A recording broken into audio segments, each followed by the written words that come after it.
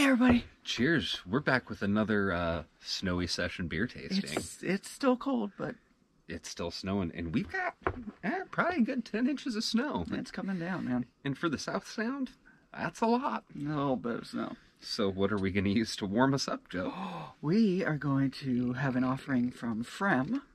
This is their barrel eh, bourbon barrel aged imperial stout. Yes. Um, from the back, real quick, it's kind of hard to see, but Imperial Stout was invented for Tsar Peter the Great.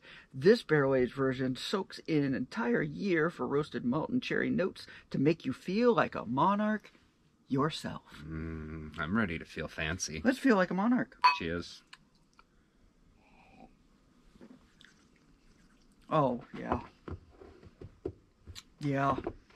No, as always, they hit the nail on the Yeah. head. Yeah. They do such a good job at making nice, well blended beer. And this is what I was talking about before. It's it's blended, it's mixed. Mm-hmm. It the, the bourbon, it, it's it's there. Mm-hmm. It, it it hits you, but it's a part of the brew. It's Instead not of a separate.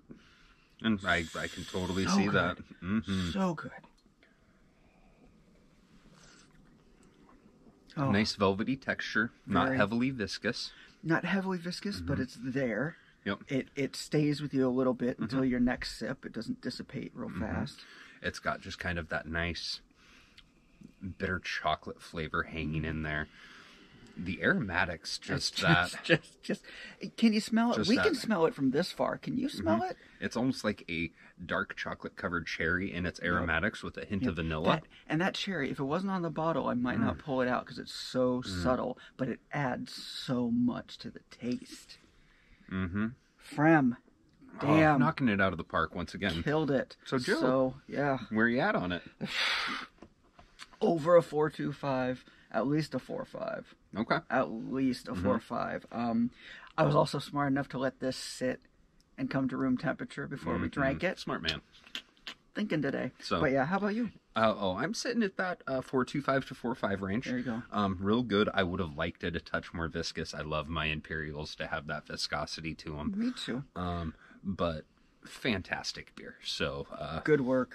Would totally drink again Yes. happily. Yes. So, yeah. That Well- being said, Stay warm, Yeah. especially if you're in Western Washington. exactly. Stay safe. Stay don't off the ice. Hope Yeah, you got enough sure. food in your fridge. In your fridge. In your fridge. In I your was gonna say freezer, and then I said fridge, and so it's a fridge. So, Cheers, cheers. everyone.